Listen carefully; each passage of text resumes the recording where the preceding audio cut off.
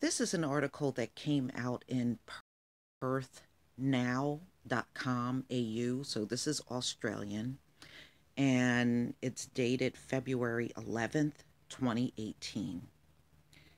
Australia is actually having a cool summer this year. And despite all of that, and this just go to show you, it really doesn't matter what the temperature is in order for people to get first, second, and third degree burns from the sun. And that's exactly what's happening. It's a cooler summer, but more people are getting sunburned this year in Australia than in 2017. And this is really a clear indicator of probably the same thing happening here in the United States just a few months from now, especially when spring and summer hits in our neck of the world. So let's look at this particular article Perth's cool summer weather hides extreme UV. A record number of West Australians last month got so badly sunburned they ended up in a hospital emergency departments despite Perth's mild summer in 25 years. In January, 118 people, an average of almost four people a day, sought emergency medical help at hospitals for sunburn related injuries. This included first, second, and third degree sunburns. It was by far the highest number of sunburn cases at emergency departments for any month in the past three and a half years. By comparison, there were 69 sunburn presentations in 2017, January 2017.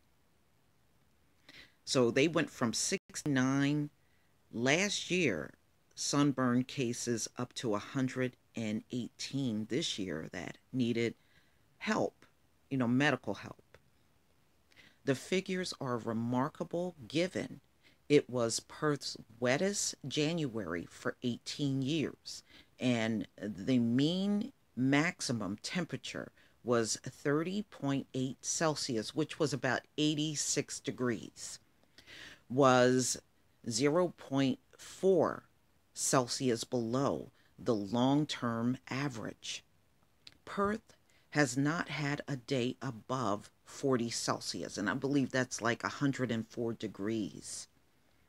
This summer, the last time the mercury was above 35 Celsius and I believe 35 Celsius is either 96 or 97 degrees, was January 14th, a record run of 27 days.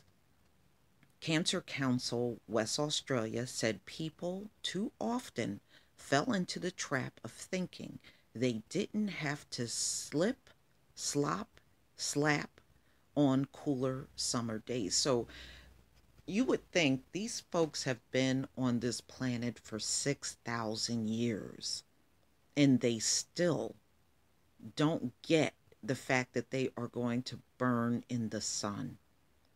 So I'm taking it, you know, as I'm reading this, that because the temperature was cooler in Australia, these folks seem to think sunscreen was not necessary and they got burnt. Or they just didn't put enough on where it would protect them. SunSmart manager Mark Strickland said sunburn was caused by overexposure to UV radiation, not high temperatures. Official advice is that people cover up to avoid skin damage when UV index is above 3. Cooler days at the height of summer had much the same UV as on scorching hot days, he said. Analysis of January's weather shows the UV level was extreme on both the hottest and coolest days of the month. So it really doesn't matter if it's a hot or cooler day in the summer, it's all in the UV rays that impacts their pale skin. When you live in West Australia in summer midday, UV index levels are around 15. It's either slip, slop, slap, seek, slide, or get skin uh, damage. Uh, there is no middle ground, Mr. Strickland, Strickland said. So if you look at this chart, now it says anywhere where you see the blue dots on days where it's above three, then it's extreme and they need to protect themselves. And as you can clearly see, the UV is well above 3. And you can see the maximum temperatures on the chart as well in Celsius. The number of West Aussies who attended emergency departments after they had scorched themselves in the sun has increased for each of the past four years. There were 198 presentations and that means cases in you know in their language. In 2014 2015 250 in 2015 2016 and 340 2016 2017 there has already been 251 in the first seven months of 2017 2018 so their summer is still going on these most severe cases are just the tip of the iceberg. The Cancer Council of West Australia estimates 261,000 West Aussies suffer sunburn each year. That's crazy when we all know the risk and how to avoid the burn, Mr. Strickland said. Adding that an over reliance on sunscreen rather than, listen to what he says, wearing clothing and hats was a mistake. So he's saying they can't just rely on putting sunscreen on. They really need to cover up their bodies and wear hats. There you go. You know, maybe they need to just accept the fact that the sun is just not for them. Why keep going through all of this skin cancer and sunburns and all of this stuff year in and year out when you just need to stay indoors when the sun is out? That's really what it's boiling down to. If you want to keep your health up, that's what you need to do. But we know you got too much proud, too much pride and too proud and arrogant to do what's right.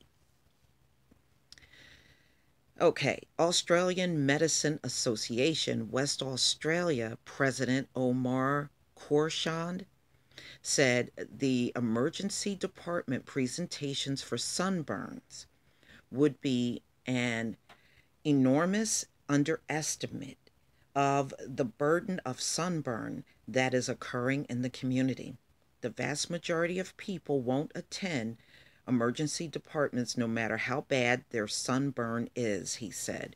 So, yeah, so, you know, he's right. A lot of people will get severe sunburns and just stay home. They won't go and get any medical help.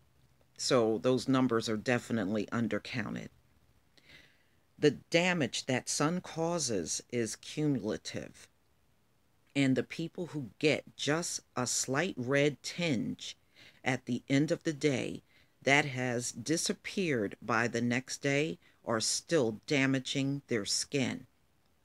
They are exposing themselves to an increased lifetime risk of all the different skin cancers. See, there you go.